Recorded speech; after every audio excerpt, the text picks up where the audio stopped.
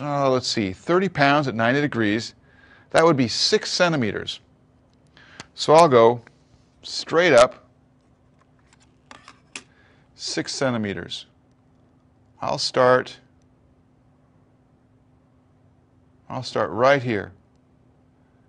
And I'll go straight up six centimeters. Now, I'm going to put an arrow right where I finished.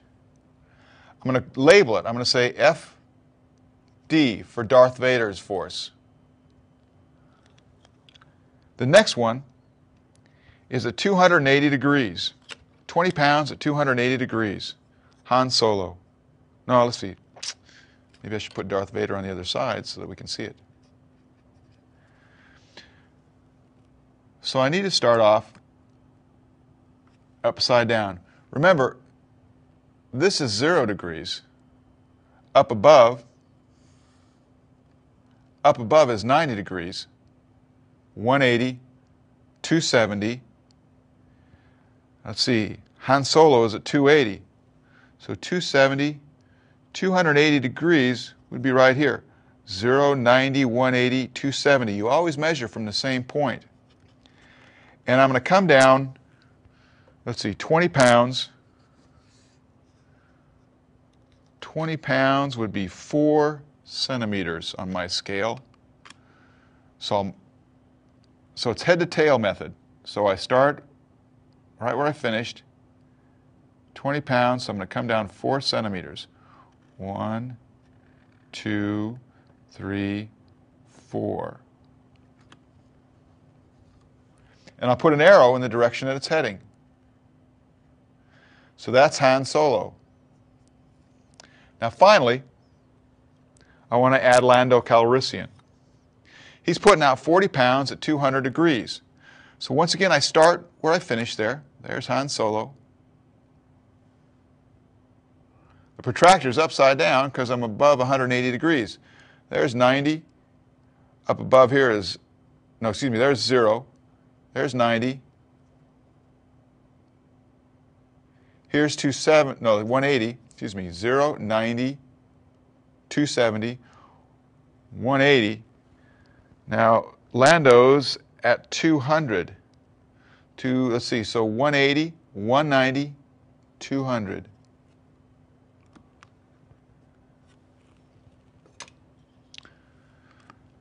So this is where I ended with Han Solo. I head straight for Lando Calrissian, and it's 40 pounds, so we're going to go 8 centimeters.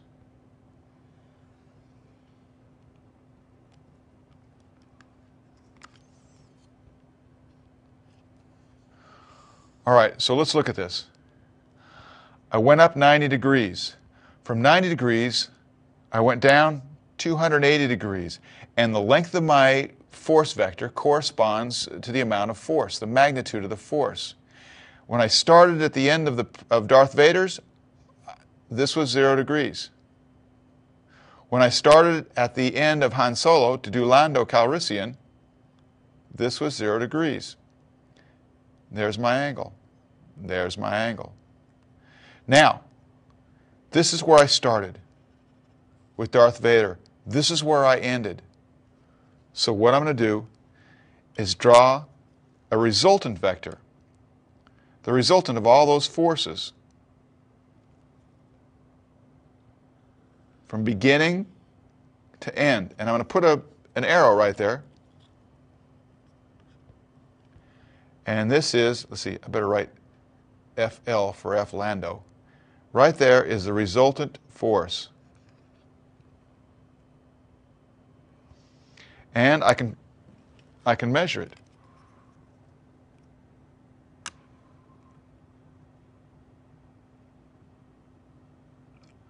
Now the resultant force, the angle is 185 degrees. So right, I've got zero degrees right there. That whole angle is 180, 185. So the resultant force it's got an angle of 185 degrees. It's got a length of 6.4 6.4 centimeters. So that's 6.4 centimeters, that's 32 pounds.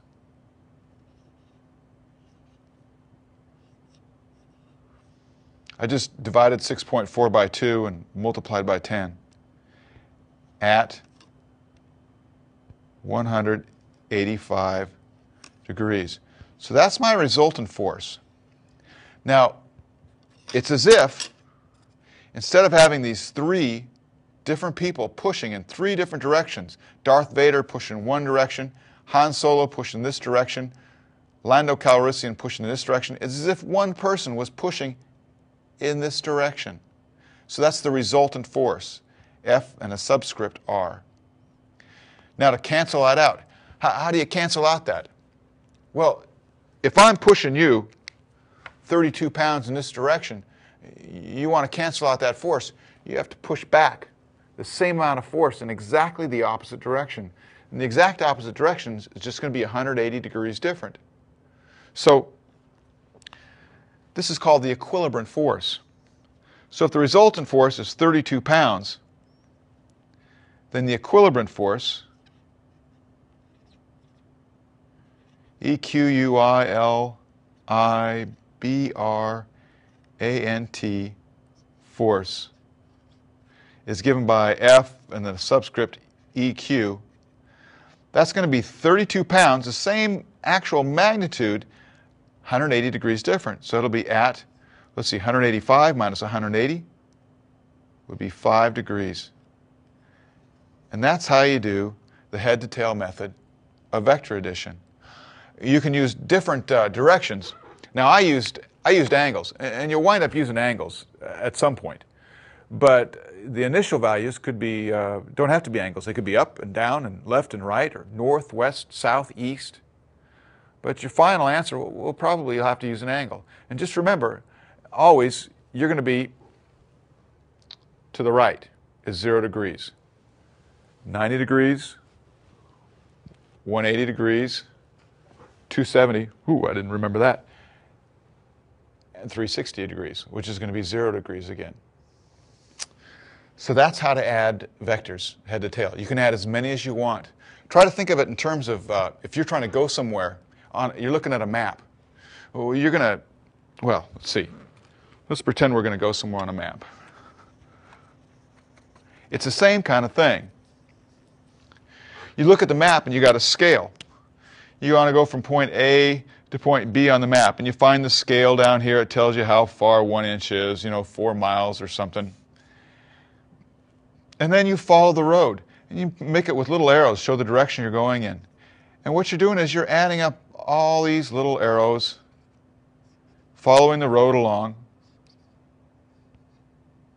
until you finally get where you are. You add them all up, that tells you how far you went. But if you want to know how far it is as the crow flies, then you start at the beginning, you draw a straight line all the way to the end, and that's the resultant. You've actually just displaced yourself, excuse me, the resultant distance. You've actually just displaced yourself this distance, right? Same way to do it. You add up all these forces, you find out what the resultant force is. Uh, to cancel that out, it takes the equilibrant force. The other thing to point out is force is mass times acceleration. So if I don't have any acceleration, I can't have any force. Now think about that when you're, uh, when you're on the road. You're driving along at 40 miles an hour. You're pushing down on the accelerator, so you know you're applying a force but you're not changing speed. You're staying at 40 miles an hour. That means you're not accelerating. What's happening is there are more forces at work than just your car.